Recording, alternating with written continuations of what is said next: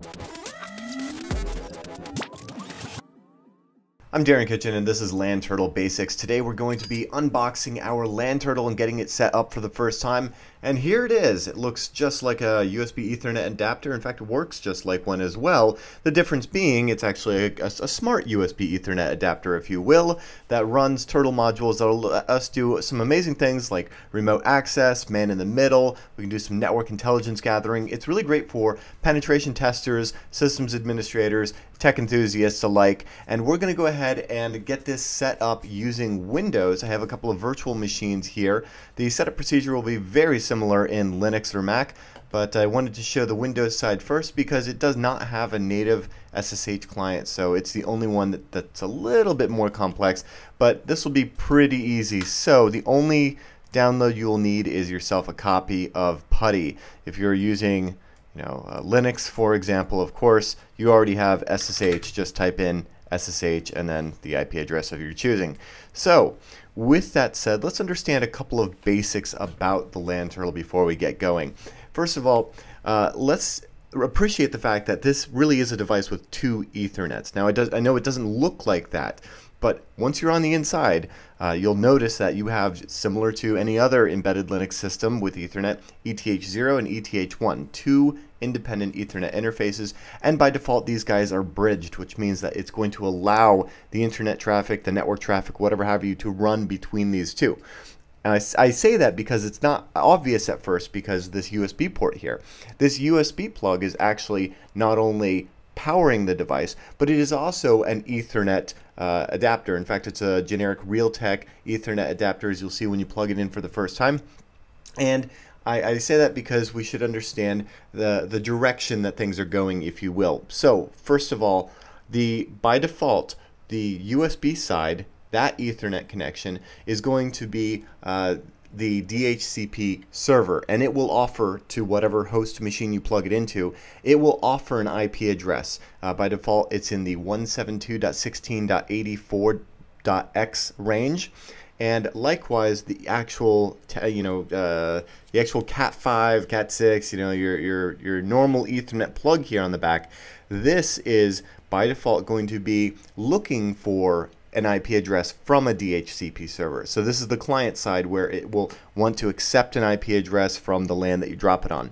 That said, you can of course set both of the sides up for static if that is the configuration that you need. It's fairly simple, but out of the box, this side is going to give an IP and this side is going to get an IP. So with that, let's go ahead and get it plugged in. I already have one plugged into my system. We'll virtually attach it to the Windows machine here. And the boot up, I'll just show you using a USB battery pack. Again, USB power means it can you know, run off just about anything that's USB. So what you'll notice is immediately you get the green light turns on. That indicates the power. And then the boot up sequence is going to start. That's a 30 second boot up sequence. And you'll notice it by the uh, blinking amber LED. So I already have one plugged in here. Let's go ahead and get it onto our system. So, in this VM, I will choose removable devices, and you'll notice it shows up as a Realtek 10100 LAN, and we will choose connect. And our normal driver installation here.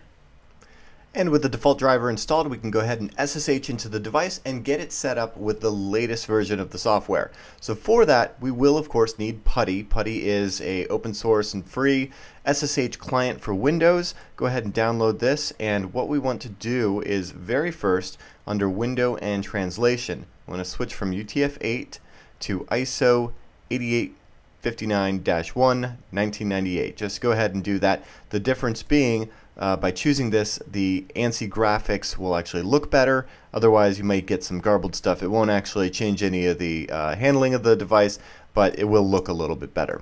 So you may want to save that as a profile, and I'll show you how to do that now.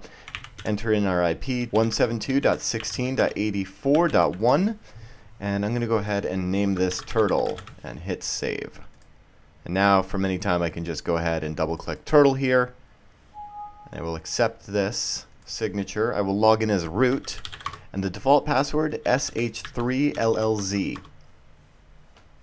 First time ever logging into this, we're going to be prompted to create a new password.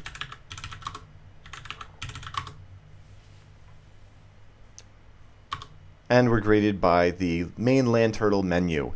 Go to use the arrow keys to navigate, enter goes in, escape goes back, go to config. And at this point, we will be able to check for updates, but not, of course, until we actually plug Ethernet cable into the back of our LAN Turtle. Plug an Ethernet cable from your network, something providing DHCP, something providing an internet connection, and once that cable's been plugged into the uh, LAN Turtle, we can go ahead back to our menu here and choose check for updates. And this downloads the latest version of the software, installs it, some things to keep in mind while it installs, it does wipe the entire device, so if you had previously set one up and you have some special stuff on it, you'll want to back those files up off of it. Also keep in mind that whenever it updates the latest firmware and downloads and installs that, it's going to go ahead and reset the password back to that default SH3LLZ. This process takes about five minutes, so uh, just sit still. The uh, connection here, you'll see it'll download the upgrade file, and it validates the file. It says, do not unplug the LAN Turtle. It takes about five minutes. And we'll disconnect. We get disconnected. That's expected. It says this session, right here, it says this session will now close. And there we go.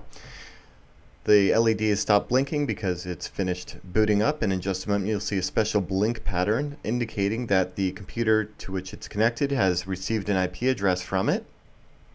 And there it is blink, blink, blink, blink. The second blink is a little longer than the first. It's on, off, and then long on. And there we go. And after that, just go back to regular network activity. And that's it. Now we're updated. So, for more videos like these, check out lanturtle.com, and I'll see you there.